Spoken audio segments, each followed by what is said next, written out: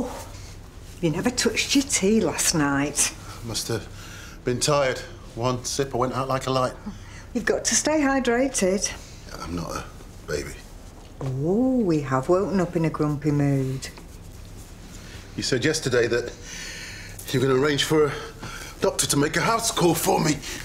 Well, yeah, I've been trying most of the morning, but it's not that easy. I mean, your injuries are hardly life-threatening. It could take a couple of days. My phone's right there. I've been here for weeks. Um, Lisa and Zack will be really worried about me.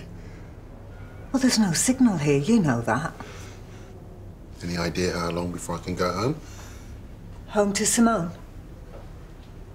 Yes. You know, Breda, I'm really grateful for all that you've done for me since the accident, but if I get home, I can, can pay for Akira. You shouldn't have to take all this on yourself. Oh, it's no problem. I like looking after people. You'd be surprised what I know about anatomy.